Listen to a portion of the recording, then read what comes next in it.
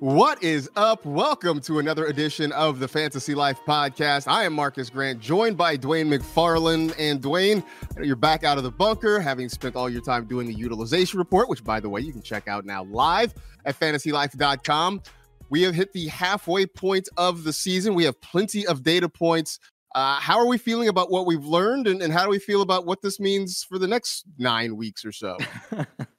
like for the next five minutes. Like, how does it make us feel? Um, you know, sometimes that's how we feel in this industry. But uh, no, man, things are good. I mean, we're sitting here talking football. Um, there is quite a bit like to cover. Got a lot of cool stuff um, today, but it's um, you know, it's one of those scenarios where some of these changes we're dealing with now um, we don't know for sure like if and this is always the case right? We don't always know if something is going to last but there's like a lot of little nuances going on with certain things. I mean we'll talk about them as we go but some of them it's like hey this looks really good so like if these three things happen it could continue.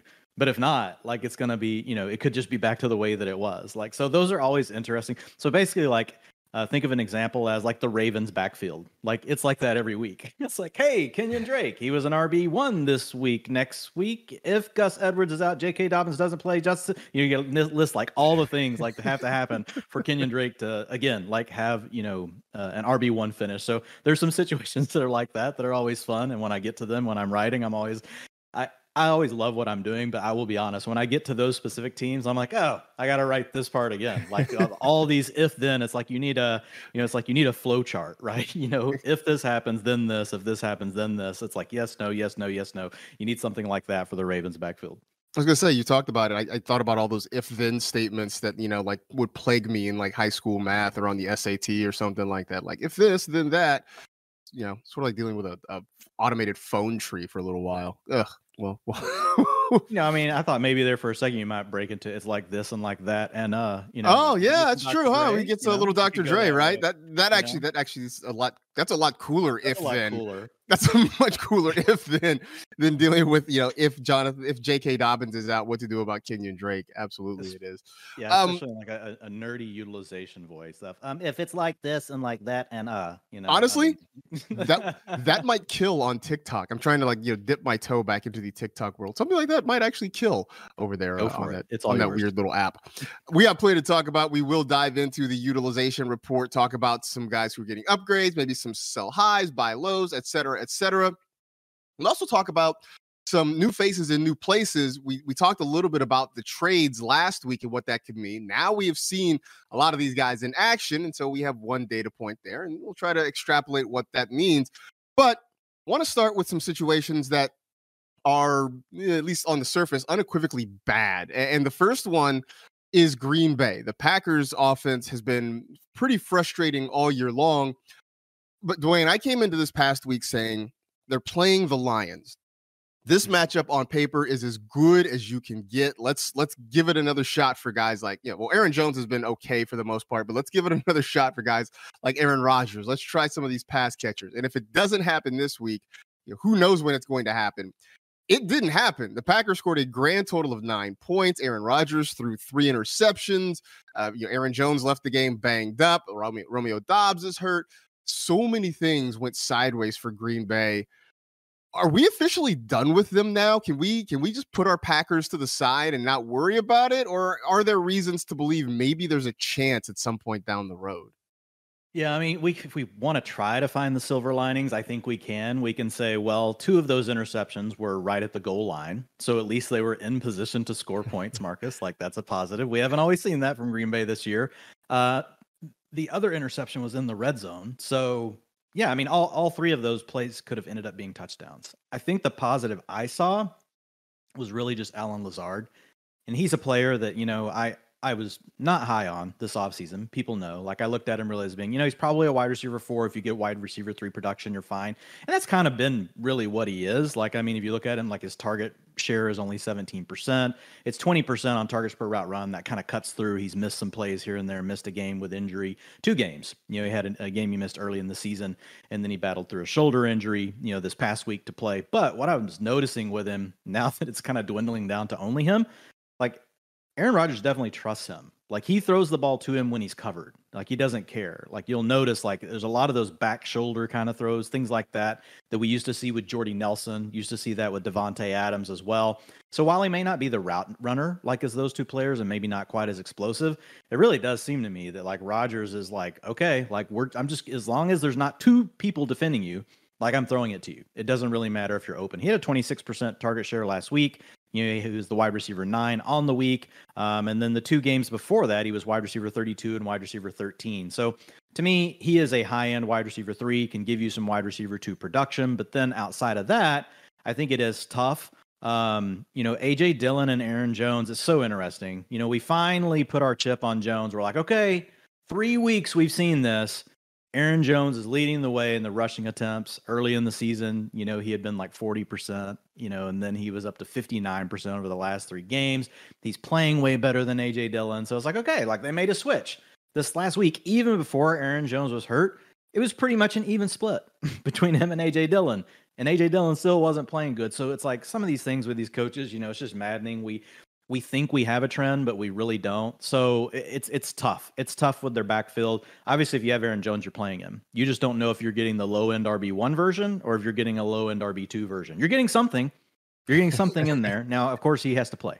He left the game, you know, in the walking boot. It, it's. I'm all. What are your thoughts here, Marcas? I'm always, always skeptical when I hear a coach come out after a game and a player's been knocked out, like in the third quarter in a game they're trying to win and cannot come back in and leaves the game in a boot, and the first thing I hear from the coach is, yeah, they're going to be ready to play. I don't believe that. I don't think Aaron Jones is going to be ready to play. I know that's what we're hearing. So my guess is we're getting a full load AJ Dillon this weekend. So I would be in on that. I think if you get AJ Dillon for 70% of the work, Kyron Williams sprinkled in, that like we're we're going to be buying on that. Yeah, I just I do worry about that. I know that was the thing, right? That the X-rays came back clean, and and they say he's going to practice this week, and and I'll definitely keep an eye on that. Yeah. But it's one of those things where if you have Aaron Jones, like you mentioned, it's hard to put him on the bench just because of what what he means to this offense and what he can do.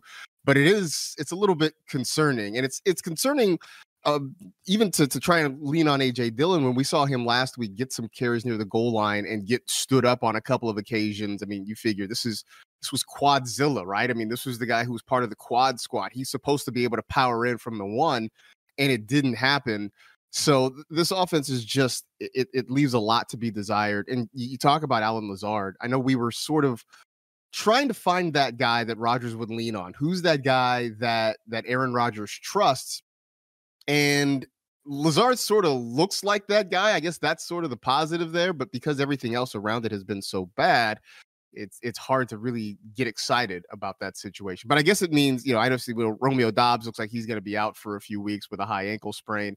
I guess it sort of makes it easy. We're not really picking and choosing between pass catchers, but even then, the end result is is less than exciting in in Green Bay.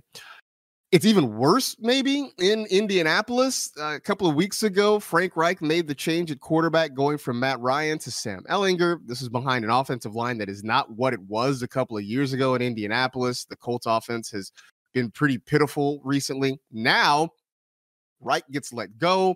They hire Jeff Saturday, who's never coached be, uh, above the high school level. And then on Tuesday morning, we get word that Parks Frazier, the assistant quarterbacks coach, is going to be the guy who's going to be calling the plays, and he has never held that role pretty much at any level there. I mean, this Dwain, it wasn't that long ago. We were excited about, you know, we like Michael Pittman. We were excited about Alec Pierce. We were even talking up Parris Campbell as a guy maybe to snag off the waiver wires and maybe plug into a lineup into the right situation.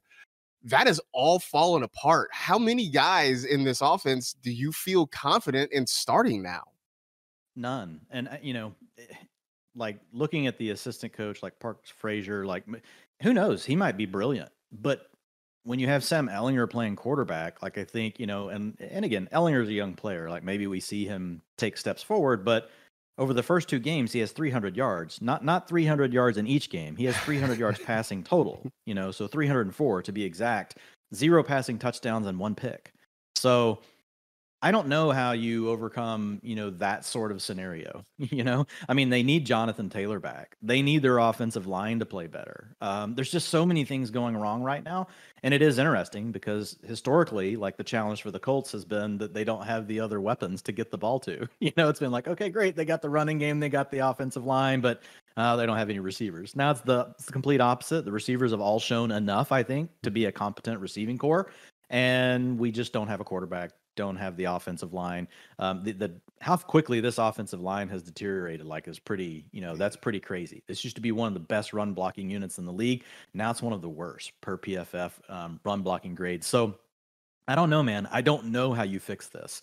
To be honest, I feel the only way you create a fantasy viable situation is to have Matt Ryan back under center. As mm-hmm. bad as that was, it at least meant you knew you had the quarterback out there that could pretty much run whichever offense you wanted. Now, whether or not he was going to play well was still totally up in the air. Like Matt Ryan would have a good game, have a bad game. But I mean, if it just depends on what you think with Ehlinger, my guess is they're just tanking. You know, I mean, it's just like, hey, let's just move on.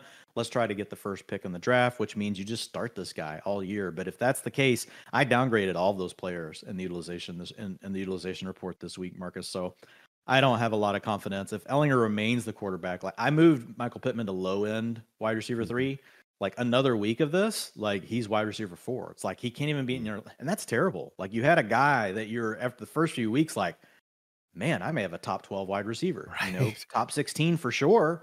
And then now you're looking at a guy you can't even start. And that, and that's, you know, PJ Walker comes in and makes DJ Moore viable. Well, for a week, Sam Ehlinger has not been able to do that. So it's just sometimes we just don't know how these situations are going to turn out. This one's not been good. Yeah, this is definitely a case of life comes at you fast because I- am with you. I came into the year thinking Michael Pittman has the potential to be a wide receiver one with this offense. I oh, did not expect that Matt Ryan was going to be as bad as he was. And look, selfishly, I look at the Colts and I say, hey, look, this season looks like a, a lost one for you. You're not going anywhere for me, I, am with you. I'd rather have Matt Ryan play just for my own selfish purposes. Mm-hmm. I know that's not. I know the Colts don't care about our fantasy team, but yeah, just to kind of salvage some value out of out of any of these guys, I think that's what I would love to see. But I don't think it's going to happen. And and this really does hurt because I liked Pittman a lot. It was great to see Alec Pierce and Parris Campbell sort of come to life. And really, in the space of about three weeks, it has really all come apart, and and there are no easy answers here. So it, it's I don't know. It's just one I think you have to sort of grin and bear it. You try to, you know, you let go of some guys that are that are not going to be viable, and you try to make do with with what's left there in Indianapolis.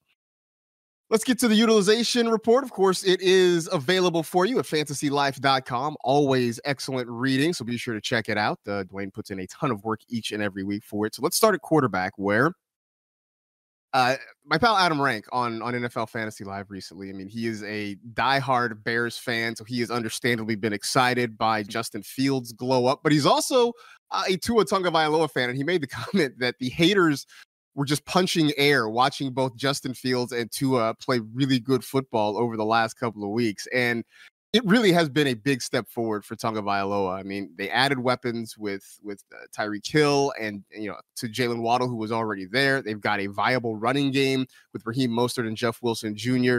And I know right now he's just outside the top 12 in terms of quarterbacks just because he's missed some games. But but Dwain, this is the guy who looks like a legitimate. I don't know. Would you say he's a top 10 quarterback going forward at this point? Yeah, I think he's a I think he's a mid-range QB one the rest of the way. I mean, if we look at the games where he's finished, right? He's been healthy. Um, he's averaging 337 yards and 2.8 passing touchdowns. I mean, in a in a in a league where we're just like hoping, praying someone can throw for 250. Like I remember the days of like, man, 300 got to where that's no big deal. There's gonna be three guys throw for 400. Not anymore. It doesn't happen.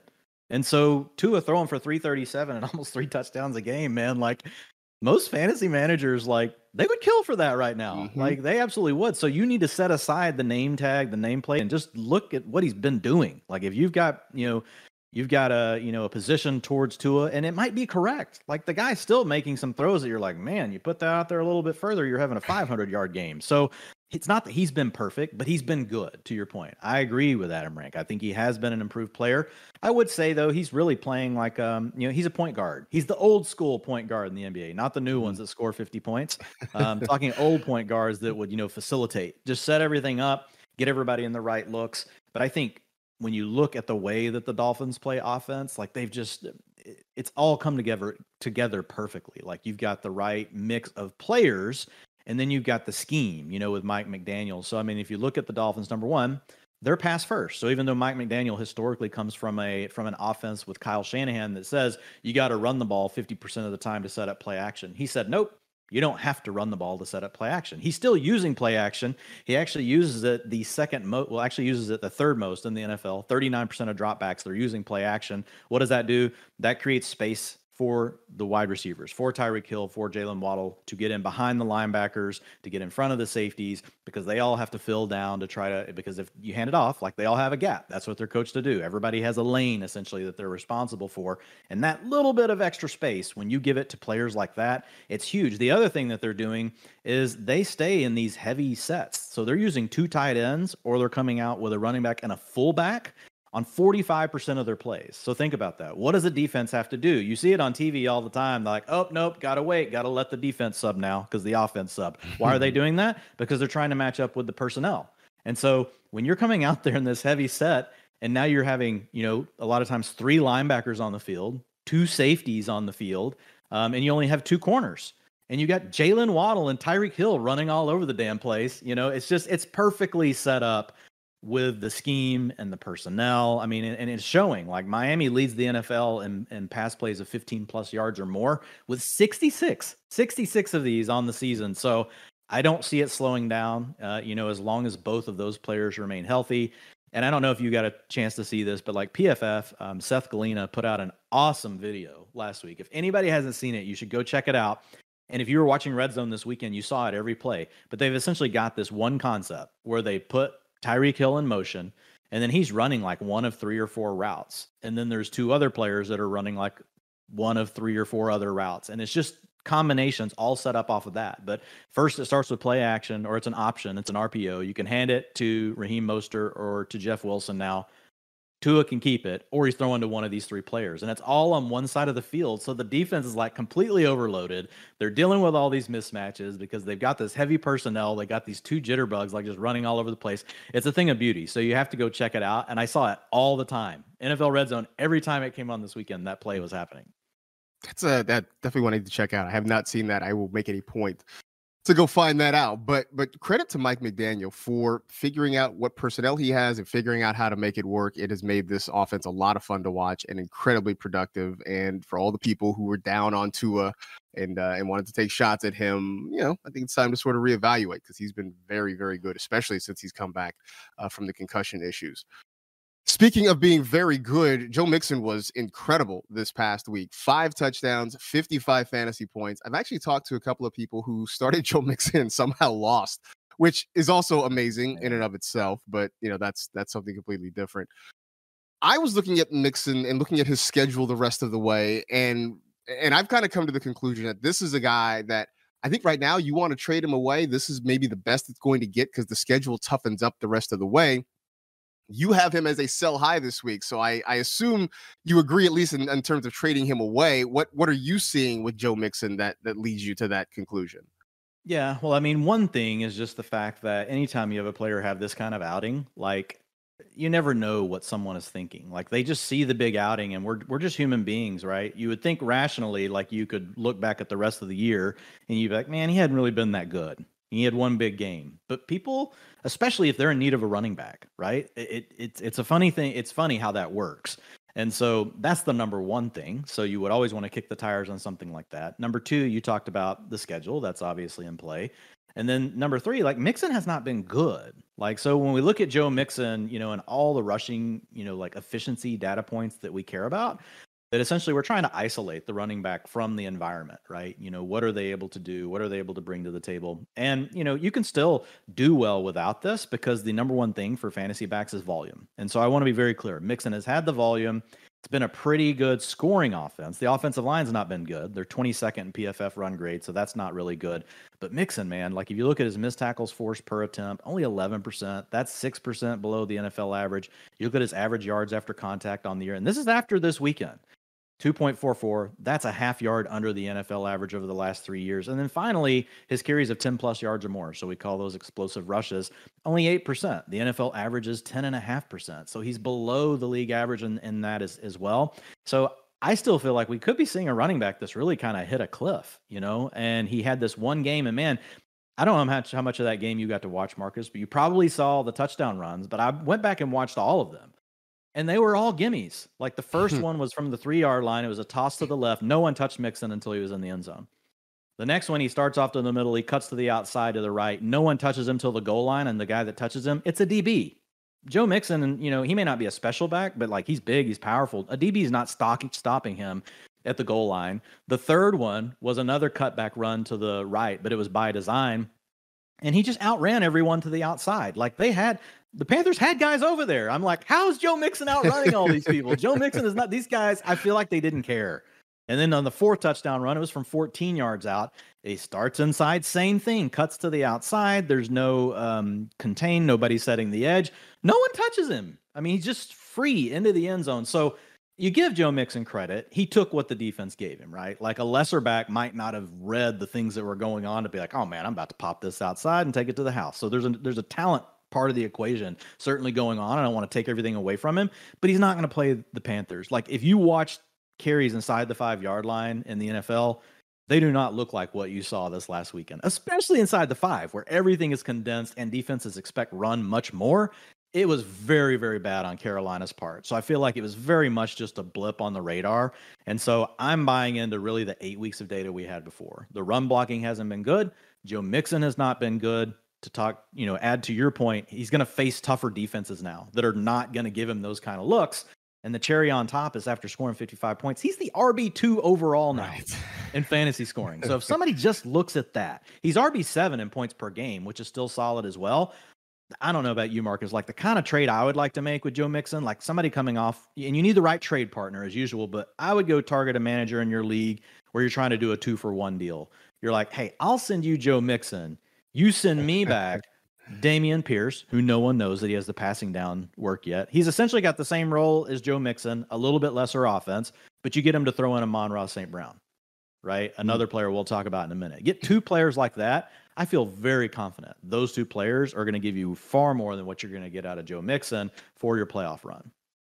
What I think is going to be interesting when we get to the offseason and starting next season, when we start talking about Joe Mixon, is you know how many people will look back and say, "Hey, man, Joe Mixon finished as the RB whatever. He was the RB six and not point out the fact that he had one enormous game that is an incredible outlier because I feel like that is going to be sort of telling when you start to evaluate Joe Mixon. It's you can look at the overall and say, hey man, he had a really good year, or you can look at it and say, yeah, he had an okay year with one huge blow up game. And I think that's going to be a big part of the conversation around him.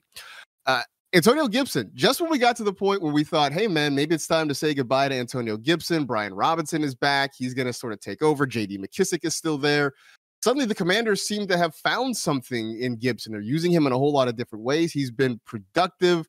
So maybe if if you were thinking about getting rid of of Antonio Gibson, was it premature? And and is there life for him in the last part of the season? Yeah, so with Gibson, I actually had him as a sell high last week, and life comes at you fast, like you said, Marcas. So, but I'm not one like I I am very methodical about how I go about moving players up and down the ranks. Like sometimes though, there's a reason to make a very quick adjustment. And I wanted to do it with Antonio Gibson. We also have a lot of fantasy managers like this is their last week to make trades, right? So with some players, you just kind of have to be like, okay, like if I'm going to put my chips on players, I want to give fantasy managers the ones that I would do it with. Gibson's definitely one. Now, his is one of those if then scenarios that we talked about earlier because they didn't have JD McKissic. JD McKissic was inactive last week. He's got a neck injury. We do not have another update this week. As of late last week, he was going to see a specialist. And the only thing we heard from the team was they were going to take it very, they were going to be very cautious with him. So when you hear neck injury, like the first thing I think of, and this could be wrong, right? But you think of Chris Carson. You mm-hmm. think of some of these, like a running back and neck. Like it's not good to have a neck injury as any player, but as one that, you know, has to put your head down, you know, you're going through a hole. You know, now McKissic is more of a receiver, but I just worry, you know, and what, you know, Washington's okay. Like they're hanging in there from a record standpoint. So they could want McKissic back later in the season.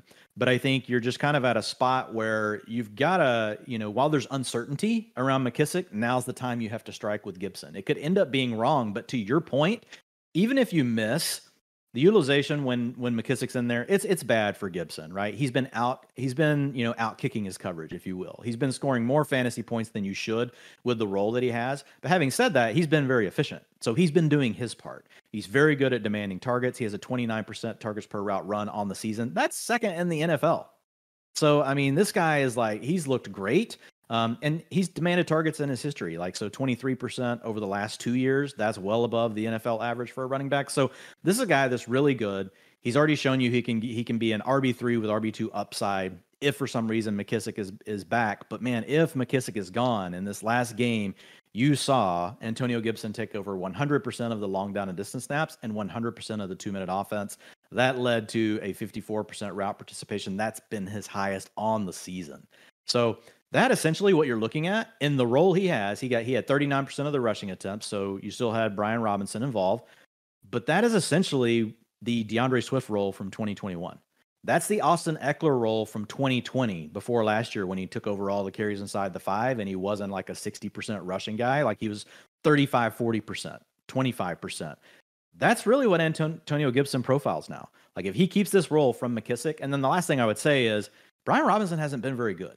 Like mm-hmm. he's below the NFL. All those things I said about J- Joe Mixon and how he's below the average uh, for the NFL. Like Brian Robinson has been that as well. And this last week, we actually saw Antonio Gibson get more of the short down and the short yardage stuff than Brian Robinson. So I think there's also a path that he just takes more work from Brian Robinson. So it's not a for sure thing, but I mean, you're down to the trade wire. And the other thing is, he's not going to cost you a lot, Marcas. Like you can go buy him, you know, from someone. Nobody's going to tell you I need a wide receiver one for Antonio Gibson. that, that's not going to be the rebuttal you're going to get for the trade offer. You're going to be able to get him. There's going to be some risk involved with it, but there's a ton of upside if McKissic's out for the rest of the season. It's just nice to see Gibson being used in the way that we always thought he would be. I mean, we always go back to, hey, he was a wide receiver in college at Memphis and they never used him as such. But now to see him getting these targets is a huge boost. It's why we thought he was ready to take off when we thought JD McKissic was going to Buffalo would open up those opportunities. And in an offense that's going to continue to probably play from behind, uh, this means there's a lot of upside for Antonio Gibson. So it's it's nice to see him sort of come back into our fantasy lives at a point we thought maybe it was it might have been a wrap for him. I came into last week thinking Raheem Mostert was still going to have some value. Yes, the Dolphins traded for Jeff Wilson, but I thought, okay, well, Mostert's still the lead. Wilson is there to kind of give him a break every once in a while, but this is still going to be Raheem Mostert's backfield. And I guess I should I should say I'm, I'm over exaggerating. He doesn't he hasn't completely lost his value, but watching him get out snapped by Jeff Wilson just shocked the hell out of me last week. So now I do have to really sort of reevaluate. I'm still trying to hold on to the idea that Raheem Mostert has some RB2 value, but I feel like it's a lot harder to make that case now just if Jeff Wilson is going to see an equal amount of snaps in this offense. Now are we are, are we looking at two guys who are both usable or are they unusable because there's just not going to be enough opportunity? Yeah, I think they're probably both equal. Raheem Mostert, like he did keep the passing down work, um, and they were even in rushing attempts, forty-one percent, you know, apiece. Um, but you know, it just worked out that Jeff Wilson still had a few more targets, even though he didn't have those passing downs. Like he got some targets on the early down work that he was out there, and to your point, he did slightly out snap Mostert. I guess the thing that was the most troubling to me is like Jeff Wilson just got here and for him to already take half the work, I was kind of hoping, okay, let's just ease Jeff Wilson in here. You know, let's let him have 30%. But, you know, Jeff Wilson, maybe it's just a photographic memory, speed reader. But I mean, there's also the fact that he really has played in this scheme. Like a lot of the mm-hmm. run concepts are the same as what was he was coming from San Francisco, where Mike McDaniel came from. So a lot of the terminology, all that kind of stuff was probably really similar. Where it was different is they've changed the passing game. You know, the passing game is a little bit different. And that could also be why you didn't see Jeff Wilson out there on long down and distance and two minute offense. I don't think it precludes him from being out there more in those kind of scenarios moving forward. So to answer your question, I think they're both RB3s. That can give you upside, you know, depending on which one. And we could have a hot hand thing, you know, it could be up. Oh, this guy's the one looking good this week, and they're the one leading the way. It doesn't, I, I don't think we know enough right now to say one has a for sure role over the other or one has this niche role over the other. Um, I think we'll need a couple more data points, but it's clear like they're going to rotate. Um, and if I had to pick between the two, like I just had to say, I can only have one on my roster for the rest of the season. I do think I would just go ahead and lean to Jeff Wilson because again, we have to act now. Like the first data point was like, okay, wow, like you already even things up. Like my assumption is you probably also got a good chance just to take more work away from Mostert. So if I had to choose, I would go with Jeff Wilson, but they're really close. And I think they're going to be close all year because I, I, if if last week was any indication, we might be something close to a 50-50 split, and both these guys are explosive. They have the potential for big plays. So I'm not completely out on Mostert. I was just shocked. I was very surprised yeah, by, by what I saw last week. It wasn't that long ago. We were huge on Josh Jacobs. He had put together a really nice run, and it looked like he was going to be the man. And, and you could just cruise with Josh Jacobs, at least into the fantasy playoffs. And who knew beyond that? But then the last two weeks, the Raiders have been let's just say it, they've been awful. Out of the four halves of football they've played in the last two weeks, only one of them has been good, and that was the first half against Jacksonville this past week. They still ended up losing a 17 point lead and losing the game. In the process, Josh Jacobs has gone back to being just a guy. So I guess who is the real Josh Jacobs? Is it the guy that was putting up 30 points, you know, three weeks in a row, or is it this guy who has struggled to get to 12 points in the last two weeks? You know, it's another example of where, you know, we get these trends and sometimes the trends are only usable for a short term, right? We we established the fact that Josh Jacobs was taking over the passing down role and you got to use that for 2 weeks. And if you knew that, it helped you in DFS, it helped you maybe you made a trade for Josh Jacobs, but you know, just like things changed to give him that role, things have now ebbed the other way. And they've now started to give the long down and distance, um, you know, passing downs to Ameer Abdullah. And then, you know, Brandon Bolden, all pro, you need him on the field for the two minute offense. And so for the last two weeks, Jacobs hasn't touched the field uh, on obvious passing downs. And so that's that's a problem. Now his touches are still okay because he gets everything on the ground. Like this guy gets 80% of the team's rushing attempts. So he's he's still going to always be probably above the 15 touch mark. So I think you're safe with that. But if they get in a trailing script, it can be problematic because the thing we had seen before is he was just getting a lot more involved in the passing game. And so over the last three weeks, like he's still been okay. Like the last two games, even though he hadn't played on passing downs, he's had three targets each game, which isn't terrible. You know, so that keeps his opportunities around 20 per game if you add his rushing attempts and his targets. So he's still a low end RB1. He just has more volatility um, to him now, and the upside isn't quite as high. Uh, and again, they could change back at any moment. Like I don't understand the Raiders offense. I, I don't understand how it can be this bad. You have Davante Adams. Now Darren Waller hasn't been there. So you could argue that's definitely part of it. But Josh Jacobs has been good. Hunter Renfrow, I don't know what's going on. Hunter Renfrow's been a good player for three years, and I don't know if it's the concussion that he suffered, you know, against the Cardinals early in the season, but he is just definitely off of his game because he and Derek Carr are usually just like they are dialed in, like they are 100% on the same page. You know, it's like a mind meld kind of situation. That hmm. has not been the case in the games. You know, as and I haven't honestly the last couple of games I've not been able to go back and watch like every snap of the Raiders has mostly been what I've seen on red zone. I have to pick and choose like which teams I want to go back and like right. watch the film on or plays. right. And I haven't on the Raiders. So I, I could be missing something here, but the, the data is just, you know, it's they're still they're still you know in the top 10 and you know converting drives into touchdowns and scoring but it's been in a it's been sliding. They had worked their way up into like the top five. And to your point I, I just don't i don't know what's going on with them for sure. You may have a take maybe something you're seeing maybe with derek carr i don't know but it's uh he's still that low end rb1 but i think you know we just have to call it what it is for now until they hopefully change it again back to what it was. Which honestly, even now, as a low end RB one, I think that was more than anybody was anticipating from yeah. Josh Jacobs this year. I mean, he was a guy that that people were actively avoiding in drafts. So even that low end is is still okay. It's just obviously a big come down from from where he had been. As for the Raiders. I don't think the Raiders know exactly what's wrong with the Raiders. I mean, if you listen to some of Davante Adams' quotes after that game, uh, he seems incredibly frustrated. It sounds like they went away from some things that were working. Uh, you know, obviously he wasn't going to name any names or, or point any fingers blatantly, but but just everything he said suggests that there really is a lot of confusion and frustration in this offense, and maybe not everybody's on the same page. And so I think it's manifested itself in that. Um, yeah, you're right. I, I don't know when Darren Waller's going to be back. It's it's sort of been just nagging injuries keeping him out. Third and Renfrow, which was a thing last year in the Raiders offense, isn't a thing this year. So it it has been kind of a head scratcher. I mean, weirdly, and I'm not the first person to say this, but but Aaron Rodgers and Davante Adams, they miss each other. It's it, it, it was one of those breakups that probably shouldn't have happened because neither one seems to be prospering all that much uh, without the other one so far this season. And Renfrow, he even has Josh McDaniels, like the slot whisperer. Like this guy comes from mm-hmm. freaking, you know, New England, where the slot receiver stays on the field all the time. You know, they're creating this, you know, they've got them in a scheme where they get lots of looks and everything. So you would have thought that with Darren Waller out, like I would have thought you would be seeing Hunter Renfrow with like these 23, 25% target shares. De- Davante Adams still leading the way, but like just for Hunter Renfrow to basically be non existent, like that just surprises me. Yeah, I mean he's a guy that you know a few weeks ago I was just saying it's it's time to drop him because the upside isn't there. The the production is mid. He's not getting the the number of catches that you would need in a PPR league to make him worthwhile. So uh, you know, sadly, he's had to be on the waiver wire for a while at this point. Since we're talking wide receivers, let's talk Terrace Marshall Jr., who maybe we were just a year too early on him, right? I think a lot of people, I liked him as a sleeper last year. It didn't come together.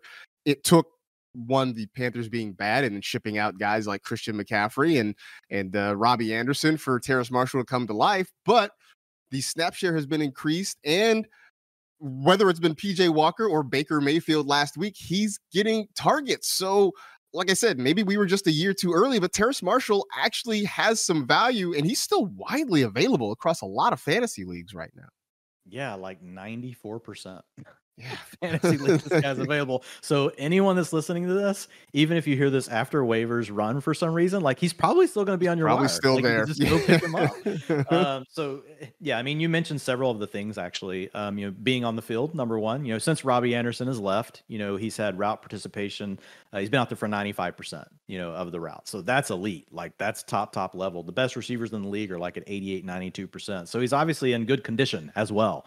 Uh, you know, um, but the bigger thing, you know, is his ability over the last couple of weeks to actually demand some targets. He's had a 26% and a 20% target share. You also mentioned that he's done it with both PJ Walker and with um, Baker Mayfield. So he may have to do it with Sam Darnold. We'll see.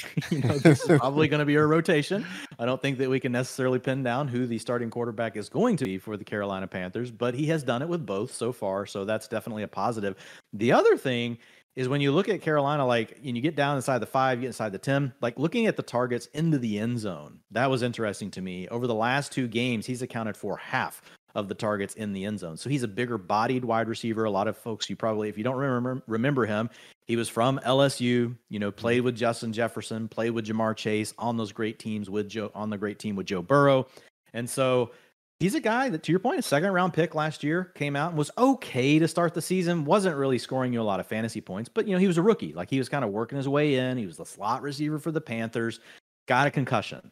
Was out for two games, came back, and they kind of changed the offense on him. He wasn't really that involved anymore. And then at the end of the year, he got a little bit of work, but it's one of those scenarios for me where like sometimes like if you've seen a full year from a player you know and really two years is kind of the mark where i'll cut the line on somebody and be like okay i'm done. Like you're gonna have to surprise me and be good.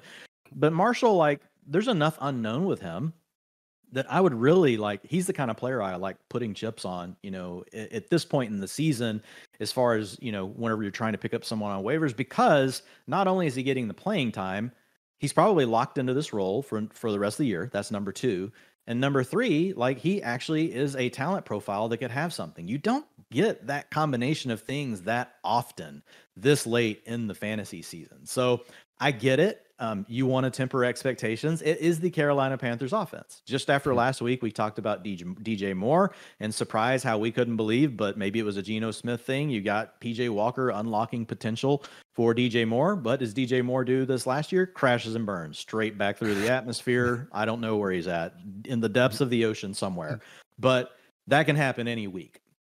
So that's the downside, you know, with Marshall. So if you're playing like eight team league, something like that, you're, you're not going to mess with him. But if you're playing in 10, 12 teamers, 14 teamers, things like that, like Terrace Marshall definitely has a place.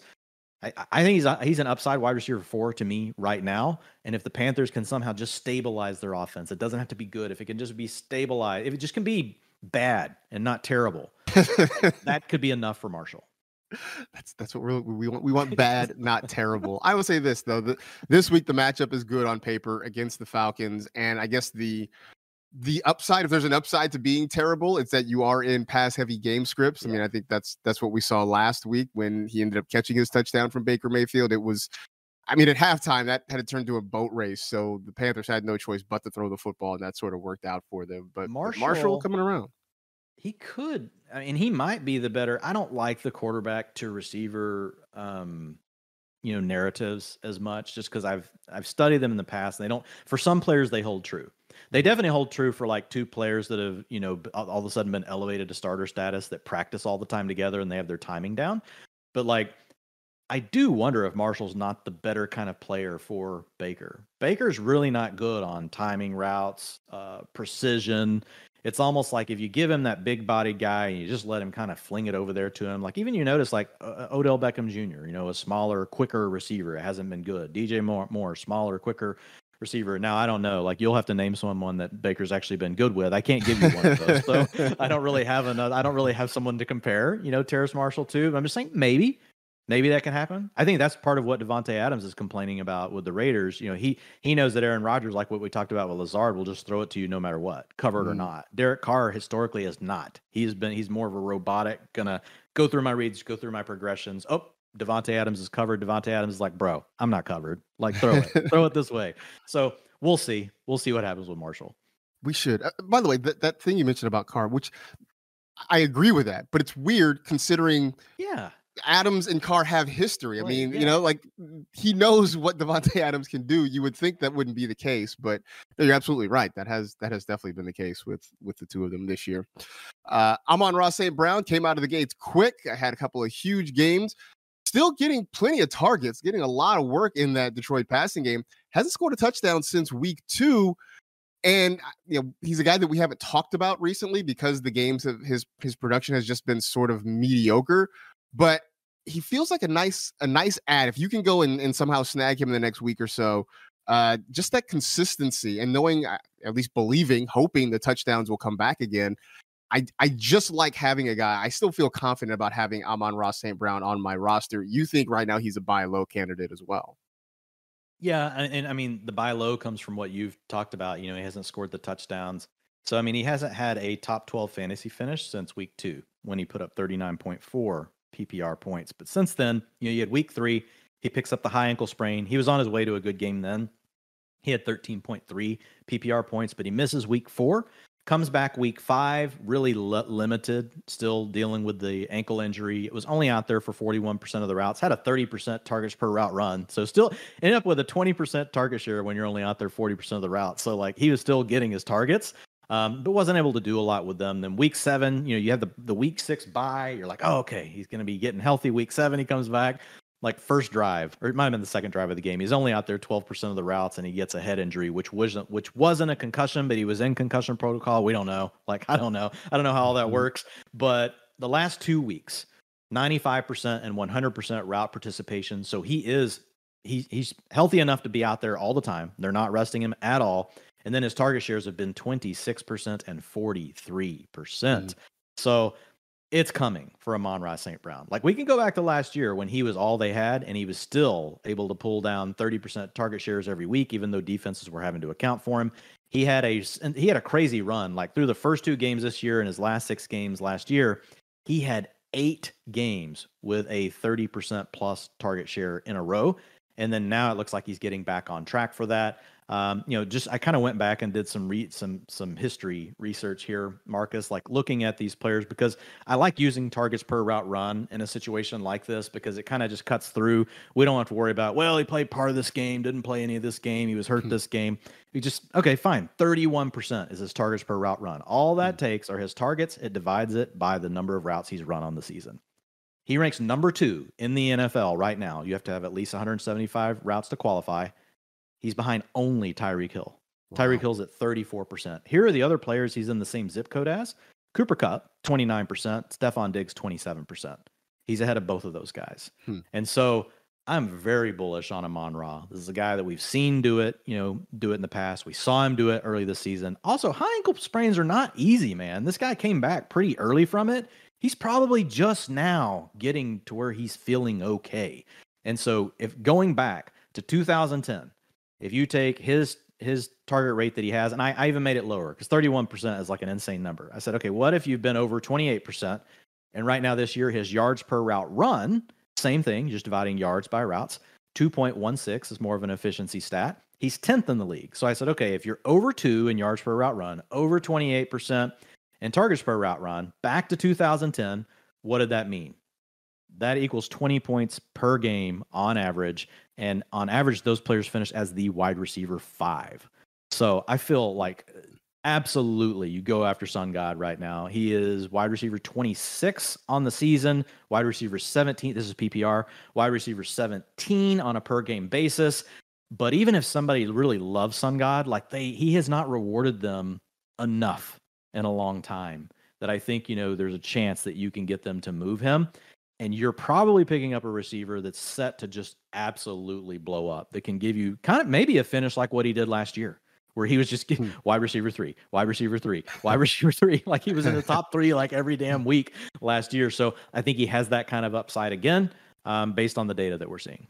I mean, the the end of the season, I think the only guy that was better was Cooper Kupp. I mean, that's how yes. good he was at the end of the year. And if for whatever reason you are in that very dwindling minority of people who thinks that he succeeded mostly because nobody was around, well, Jay Hockenson is gone and D'Andre Swift is less than 100%. So we're sort of back to the same situation again yeah, in Detroit. We, we really are. Uh, you got Isaiah McKenzie as an upgrade. Is that because Gabe Davis has just been inconsistent, or or what, what's your your thinking behind that? Um, again, like as we get towards like the trade deadline, you know, and, and people trying to they're in crunch time, I get a little more aggressive with some of these changes. I only have one data point suggesting this, um, you know, for McKenzie, but all the way back to the beginning of the season, really the the the slot role has been a pretty even rotation with McKenzie slightly in the lead. This last weekend, we actually saw him get up to 70% route participation. It was his highest of the season, with Khalil Shakir going down. He was only at 19%. The other thing is the Bills are notor- notorious for using three and wide receiver sets. So there's just a lot of opportunity. If you're the lead slot receiver, you're going to be out there maybe as for as many routes as a normal starting receiver on the outside, right? In a two wide receiver set on some teams that don't throw the ball as much. So you got a pass heavy offense. They like to use the three and four wide receiver sets, and you have this last factor of McKenzie now seeing his season high and target. Uh, I'm sorry, not target rate, but in his uh, routes run. So he's been he was freed up, you know, on the waiver wire over the last couple weeks. That's the other reason he's available right now in 61% of Yahoo leagues. Like that hmm. number was a, a lot lower earlier in the season. But the last point is also what you said. Like none of the other receivers have really stepped up and done much. Like if we look at targets per route run, because Gabe Davis has been in and out of the lineup, he's at 13% on the season. Isaiah McKenzie's at 17%. He's actually ahead of Gabe Davis. Now, he doesn't get those deep target. Dave, Davis comes through on the big plays, right? Mm-hmm. Dawson Knox is only at 12%. So, really behind Stefon Diggs, who's who's an alpha. We just talked about him a minute ago with Amon-Ra St. Brown. He's at 27% targets per route run.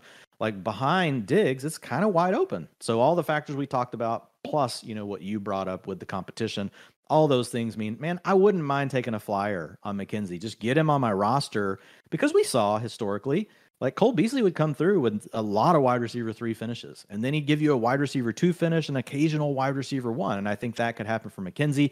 Of course, all bets are off if we don't hear positive news on Josh Allen. You know, we've got the UCL injury. Um, you know, I, we don't have an update officially on it. You know, all we can do is go off of like fantasy Twitter. You know, our you know the the good docs that all give us you know their thoughts, which I'm so thankful for because we used to you didn't have this information. Now you right. may not agree with every one of them says. I don't know because I'm not a doctor, so I just try to read what everyone says. Like I try to find like consensus. You know, is there kind of consensus? Is there a mm-hmm. consensus thing here where people are thinking this many weeks? But if it's a strain, I mean, it looks like it would be two to two to six weeks. If it's a tear, Josh Allen will be out for the season. Like if that mm. happened, like McKenzie, then you're just not probably not messing with it because you're going to have Case Keenum at quarterback. Yeah, that and I again, we're all sort of on pins and needles waiting to hear the update about about Josh Allen. Certainly, at last check, we were still sort of waiting. So that that definitely impacts everybody uh, in that Buffalo offense, uh, even to some degree. Stefon Diggs, maybe not as much, but but everybody takes a hit. Uh, one tight end to, to jump into, Dalton Schultz, who uh, oh, I, I anything else though? I know I think you said one one other thing I, about the Bills. No, on Buffalo, you know, you and I last week we talked about Deshaun Watson if I am the Josh Allen manager right now, mm. waiting on this information, uh, Deshaun Watson is still available. Um, right now, 72% of Yahoo leagues, he's there. Wow.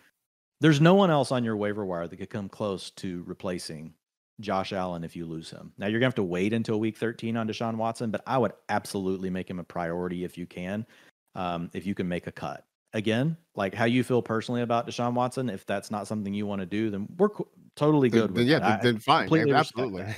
but if you're just looking at the fantasy points, it is a quarterback that has, you know, top six upside. You know, he's averaged 25, 21.7, 22, and 23.8 points per, per game over his first four seasons. So you're not getting all of Josh Allen back, but like think about who's on the waiver wire. Like we've kind of everybody scooped up Justin Fields at this point. Like we talked right. about him two and three weeks ago. So I kind of feel like Watson's it, man. And if you've got a Josh Allen team, I would consider grabbing Watson until you know for sure what's going on with Allen. Probably, probably smart advice because you're right. There's nobody else out there that's going to give you anything close to that that level of production. Uh, one tight end, Dalton Schultz, a buy low. I know it's been a frustrating year for him, injury wise. It's been a frustrating year for Dalton Schultz managers. But the last time we saw him, it was probably his best game of the season. That feels encouraging enough to believe that maybe there's uh, better things coming for Dalton Schultz. Yeah, and you know, you you, you kind of hit on all the main things again. Like it's the injury. He's been dealing with the MCL, and it's like as soon as and I watch all the Cowboy games. I'm a Cowboy fan, so like I always, even if I miss them, I make sure to go back and watch all of them. And uh, like he has taken some of the worst hits on that knee. Like mm. after it's been injured, like landing weirdly, getting hyperextended. You're just like, oh my god. You're like, how's he still playing? I don't know how he's still playing but he is starting to warm up. He still hasn't hit that 70% route participation, which is like what we want to get him to. Ultimately, he's a guy that could be 80%, um, but he hasn't cleared 65% in the last three games. But he is heating up. Like, so if you look at him, um, 31% and 33% targets per route run in the last two games with Dak Prescott. So I think he's a mid range tight end one. You get the bye week, really good timing. We're going to, this is going to be the, the healthiest that he's been all season. So if you can make a move, but your deadline's probably here anyway, but you got to go make it right now if you're going to try to get Dalton Schultz. He's available in a few leagues. Like he's rostered 73% of the time. So if you're in a shallow league and Schultz is there, just go grab him. But I think he's a name that we could be mentioning, Marcas. Um, once you get past, you know, Mark Andrews, Travis Kelce, maybe that's it. And maybe you're throwing in Kittle and Goedert the next name could be Dalton Schultz. Like that could that's that could be the next name. Like once we look at the we you know we reflect black we reflect back at the end of this year. we're like wow, like over the last six games, Dalton Schultz was the tight end four, was the tight end five. So now's the time to get him if you can. Which he was a guy that, that people really liked, thought could be a tight end one, and, and as you mentioned, the nagging injuries have just sort of hampered a lot of that. But we'll see what uh, what there is to, to say about Dalton Schultz as we get to the end of the season. Still plenty to say about the utilization report. We can't even get to all of it. So go check it out at fantasylife.com. But as we finish up the show, trades galore last week. We sort of talked about what the potential impact could be for some of these. Now we actually have a data point with some of these guys with their new team. So wanted to talk about a, a few of them. Since we're talking tight ends, let's talk TJ Hockenson, who went from Detroit to Minnesota. I thought maybe they would sort of ease him into it. That wasn't the case. I mean, they just threw him into the deep end and he ended up having a pretty good game. I know we both thought that over the long term, the value doesn't really change a whole lot. He's going to be who he's going to be. But uh, Dwain, were you surprised at how quickly they just they they let him kind of have free reign and let him do his thing in that offense because it, it looked pretty good after one week. Yeah, I think it says quite a bit about Hockenson um, to be able to come in and pick up all that stuff. I, I, thought maybe we would just see him out there, you know, for a good amount of like passing plays when they knew they really needed three solid options, like give him a package, right? And say, hey, when we're in third and four, you're playing. You're going to be out there for the passing down. But they didn't. He was out there for 84% of the routes.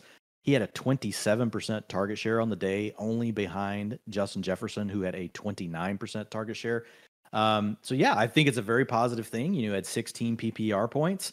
Uh, you know, 36%. This this was also interesting to me. First game there, 36% of the time when Kirk Cousins was faced with a third or fourth down, he threw the ball to TJ Hockenson. So mm-hmm. they've already somehow managed to establish a little bit of mojo between them. So I think that's all positive. Um, yeah, I think the outlook is still pretty similar to, to to Detroit. Maybe a slight upgrade because we know at heart Detroit wants to be more of a run balance team. At heart, the Vikings have already shown us they are a pass first team. So that that could lead to a little bit more just by the nature of having a little bit more of a, a you know a pass heavy approach. But I think he's in that mid range, you know, tight end one mix. We thought we might have to wait a couple of weeks before he would be back to that. Like kind of like, okay, treat him as a high end tight end two with upside. No, like we're already past that. You can just treat him immediately like a mid range tight end one and have him back in your lineups. It's it's funny because I know Kirk Cousins after the trade happened said, "Oh no, I I watched T.J. Hockenson tape. I like. Him. He's like I I've watched this tape going back to Iowa." And sometimes you hear players say that, and you think, well, they're just talking. They're just trying to, you yeah. know, compliment a new teammate. But look, if if what we saw is an indication, maybe Kirk Cousins really was watching Iowa game tape and seeing what TJ Hockenson can do. Who knows? Uh, Chase Claypool goes from the Steelers to the Bears in a little bit of a different situation where he didn't play quite as many snaps. I think just 25 snaps for him. But in those 25 snaps, still saw six targets. And this is a Bears team that is hungry for any kind of pass catchers, even though they already run first team. Um, your thoughts on on Claypool after seeing him with one game in Chicago? Yeah, so he had more of the package, I think, than what we thought we would see for Hockenson. Right? It was like we're going to give you this this certain amount of plays. It's going to be for these certain circumstances where we would like to have someone else, you know, to create a certain kind of route, route combination against this defense, whatever the case may be. But he was only out there 40% of the routes, but not not not terrible considering it's his first game. But you mentioned it, the six targets. So he had a 22% target share despite only being out there 40% of the time. Now, a lot of it was probably designed. Like it's like, hey, we know this is going to Claypool. We're putting him on the field to get the ball to him. He ran 16 routes. He was targeted on 16 of those. Um, so his targets per route run was really great at 38%. But again, just another player that we have seen historically, uh, you know, as a rookie, he was good. Second year, not quite as good, but not not bad. He had some rough moments, you know, in the public eye, like on you know on some island games that made him look bad, made fans get mad at him, you know. But ultimately, like his underlying data didn't fall off a cliff in year two. It was still it was still good, and so He's only having to deal with really Darnell Mooney. We did see Cole, Cole Kmet get going a little bit, but I would expect Claypool to take over the number two wide receiver role. Like we've really just seen a rotation for the Bears all year. It's been like Dante Pettis out there part of the time. Uh, Equanimeous St. Brown, you know, has been out there. You know, you can't stop those St. Brown brothers. Uh, you know, he was out there. You know, we've seen uh, N'Keal Harry here over there. Like this is like you know the who's who of guys drafted you know, four or five years ago that we thought might be good and they weren't, but the Bears picked them all up this year and put them all on their roster. So I do think Claypool will probably be, uh, you know, in an, a near every down kind of capacity along with Darnell Mooney moving forward. And the thing with the Bears, they're not throwing it a lot, so they're not getting a ton of passing yards. But man, teams just have to respect Justin Fields on the ground so much. You know you're going to get a couple of these efficiency games where Fields is just going to pop off because they're so consumed by stopping the run against the Bears that you're just if you remember back in the day, like when Marquise Brown first got to the Ravens and Lamar Jackson was going nuts, and then all of a sudden you're like, man, Marquise Brown, like he ran, they only threw the ball X number of times. He ran like 20 routes. How in the heck did he catch four balls for 100 yards and two touchdowns? like, I think you're going to have some of those games happen. Um, you know, and so Claypool uh, and Mooney as well, they'll have a chance to get in on that as teams, you know, really try to tighten down on Justin Fields in the run game. Yeah, I, I, I just, I kept coming to the fact that leaving Pittsburgh means there's probably less target competition, yeah. but also fewer targets. But maybe, maybe it's more efficient, especially with Justin Fields playing so much better. It gives you a little more confidence about what Claypool can be. Uh, last one here, and maybe the most intriguing one, because everybody wanted to see what Andy Reid was going to do with Kadarius Toney. He was, you know, telling us that he's healthy now. He was putting out cryptic tweets uh, about his time in New York, presumably. And very first play of the game against Tennessee, a target to Kadarius Toney. I thought about you. I thought about Michael F. Florio, who are the two biggest Kadarius Toney uh, stands that I know right now. wasn't much the rest of the game. Played just seven snaps, had one other target, ends up with 12 receiving yards. So I don't know how much there is to glean about it, but certainly the excitement level was elevated to see Kadarius Toney in this offense. But any any big takeaways about what you saw? Well, it was very limited what we got to see, but when you saw the route that he ran to get open, the flash was there of what Kadarius Toney is. Like his his movement skills are just on another plane from even NFL players, which are on the absolute elite plane of all planes. And so uh, yeah, I I think the upside is still there. You're going to have to be patient. Like the disappointing part is you're only out there 9% of the routes and he actually had, you know, because of the bye week, he had a lot more time than these other guys to get ready. You know, Skyy Moore has not really shown us a lot, you know, the their rookie second round pick. Marquez Valdes-Scantling, his routes are are going down. I think they're basically ready to move on from him. So you've got some you, that could open up some things for Toney, but you were hoping for something more like what Claypool had, right? You're I was hoping you see him basically immediately overtake Skyy Moore, right? And get 30, 40%. You know, Skyy Moore is 25%, take another 10% away from MVS. And then you're looking at 35, 40% route participation, and you can build on that. Well, right now we're still at square one, square one. Not to say it can't change in a heartbeat, um, but Mecole Hardman definitely has a package here. Like they love using him down inside the five. You know, they like motioning him across the formation. A lot of the things we talked about earlier with uh, the motion with Tyreek Hill with the Dolphins, like the Chiefs really are the inventors of that with Tyreek Hill. And they use it, they use Mecole Hardman in the same way. So it makes you wonder, you know, I mean, is it going to be harder for him to make his way up the step chart than what we thought? But ultimately, all the reasons that if you grabbed Kadarius Toney off the wire, all the reasons you did that are still there, right? It is he is probably still the best receiver on this roster if he can manage to make his way onto the field. Juju's been better, but Juju's just running option routes in the zone coverage, right? He you don't have to be special. He's doing his thing. Don't want to take away from him, but he's not great after the catch. Like it's just basically him and you know it's him and Kelce that, that they're dividing it up with. But even Juju, like he's not getting like thirty percent target shares like some people think. Like it's like twenty percent. Like there's still plenty to go around. Um, so I think there's still hope that Toney can scale the wall here, right, and and eventually find himself uh, in a role big enough. But it could just take some time. I was just hoping for a bigger stepping stool in the first game than nine percent. Nine percent is not very encouraging. Yeah, I know a lot of folks really excited about it. I will say this: if there's a coach that can figure out how to unlock it, Andy Reid very well could be that guy. So maybe bigger and better things are coming. Um, just a little bit of a tease is what we got from Kadarius Toney and the Chiefs last week against Tennessee.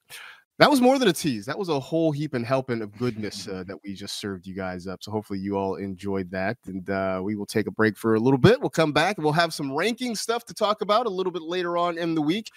As uh, we're in double digit weeks, you know, Dwain, I was I was talking to somebody, and just from a mental standpoint, seeing seeing two digits in the week. Uh, it sort of just changes your mentality. I don't know if it's good, bad, or otherwise, but it just is a change. I don't know if you feel the same thing now that we're in week 10. I agree because when you see week 10, most most playoff scenarios for fantasy leagues start in week 13. Mm-hmm. So it's just that trigger that you've got week 10, 11, and 12 to get into the playoffs You've probably just got this week. Maybe some leagues extend have the trade deadline through the end of the year, but most leagues I play in, week 10 is the trade deadline. So it's significant from that standpoint. Um, you're trying to make these last moment um, optimizations to your lineup so that you can have the best lineup possible entering the playoffs.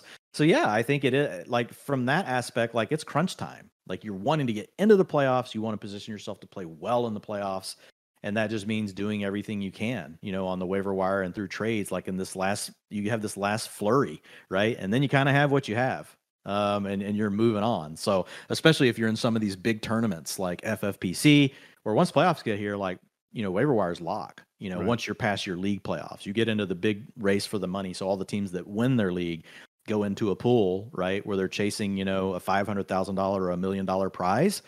Like you can't make moves so it's all now. You have to make them all now. So yeah i think it does carry it's it's it's carries a lot of different um significance but like that's what it triggers for me is like i'm like okay it's like in crunch time. I guess for like a mom maybe it's like nesting mode like you're getting right. i don't know. I don't know what to compare it to but it definitely gets me hyped Absolutely. Well, hopefully we can do our best to help you make whatever last minute deals you need to or get your roster ready for hopefully a very successful postseason run. So we will come back with you uh, in just a couple of days from now. That do it for this edition of the Fantasy Life podcast. For Dwain, I am Marcas. We appreciate you listening. By the way, go check everything out at fantasylife.com. That is the utilization report. That's all the tools to help you build a lineup. And if you haven't already, sign up for the newsletter, which uh, I know Elliot Chris very excited because uh, a lot of folks out there are checking it out. And so hopefully you can join that club as well. In the meantime, enjoy the week. We'll talk to you again real soon.